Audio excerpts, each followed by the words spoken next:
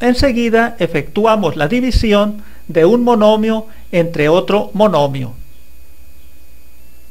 Vamos a efectuar esta división. Se trata de dividir un monomio entre otro. Primero se deben dividir los signos, luego los números y luego las letras, que son estas potencias.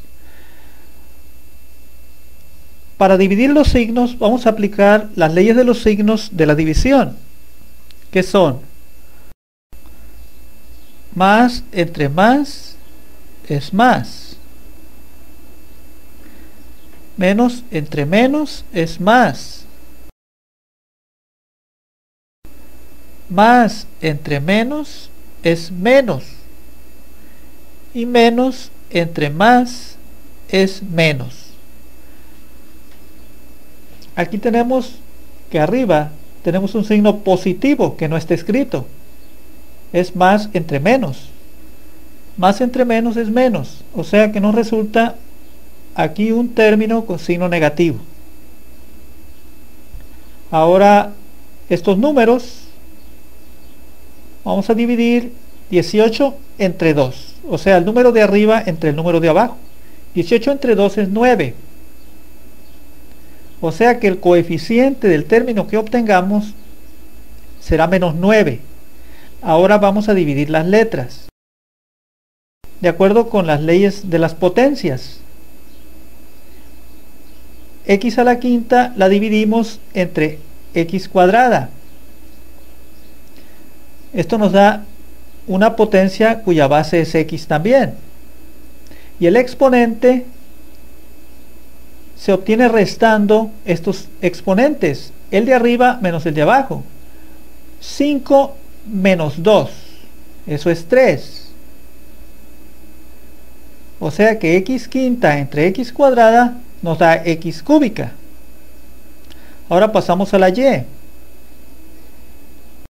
Nos da una potencia cuya base es y. Y el exponente se obtiene restando estos exponentes, el de arriba menos el de abajo. El exponente de abajo, el exponente que tiene la y, no está escrito, pero es 1. O sea que aquí sería 3 menos 1, que es 2. Obtenemos y cuadrada. Esto es, y cúbica entre y es y cuadrada. Ahora las zetas. z cuadrada entre z a la 7 también se restan los exponentes, el de arriba menos el de abajo. Nos da z a la 2 menos 7. 2 menos 7 es menos 5. O sea que obtenemos aquí una potencia de exponente negativo. Este es el resultado de la división. Es un término. Pero no vamos a dejar esta potencia de exponente negativo. Vamos a hacer lo siguiente hay una propiedad de las potencias que dice que a a la menos n es 1 sobre a a la n. Esta propiedad nos permite bajar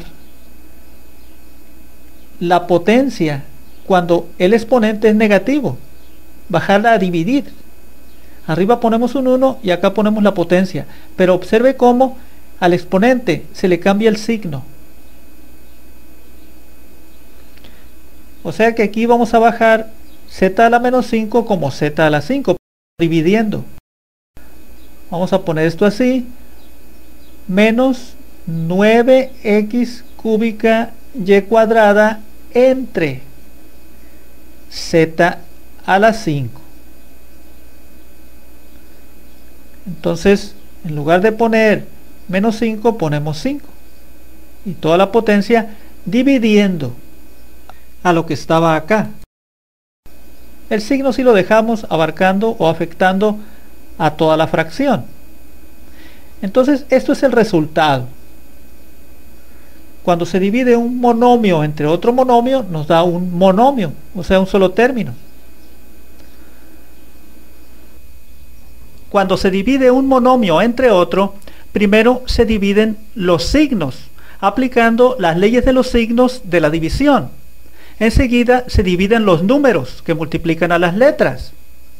Después se dividen esas letras, es decir, las potencias, aplicando las leyes de los exponentes.